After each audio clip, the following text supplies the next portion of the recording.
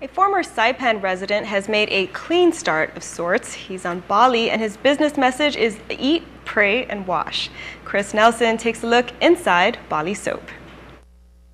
There's uh, a lot of diversity here, people from all over the world, and um, it's a little bit more kind of wild west sometimes. You know, not as many like in the states. There's a lot more rules and regulations, but at the same time, there's also a lot of you know people trying to get some money from here and there. So you just kind of gotta your eyes open. Mike Walsh is now in the soap business on the island of Bali. The former legislative assistant for Senator Paul Manglona has quickly been growing the business. We kind of started there small. We had like four or five employees, and that was like seven or almost eight years ago. And then um, just kind of slowly growing. Now we have like 45 employees. It's going okay.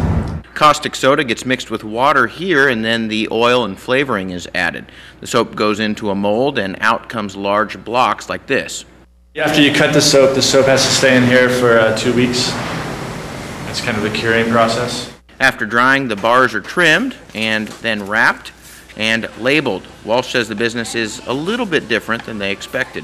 We started off, we thought we'd sell more, um, you know, export and um, do a lot of wholesale to distributors. And then it turns out with the name Bali Soap, we uh, sell a lot more locally to the, like the gift market, and we sell to a lot of uh, like kind of boutique hotels and villas.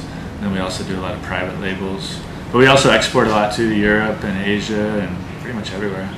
And that includes our area. On the factory floor, we find both Mariana soap and Palau soap, which means that local soap purchasers are not only getting washed, they are getting washed. Chris Nelson for the Channel 2 News.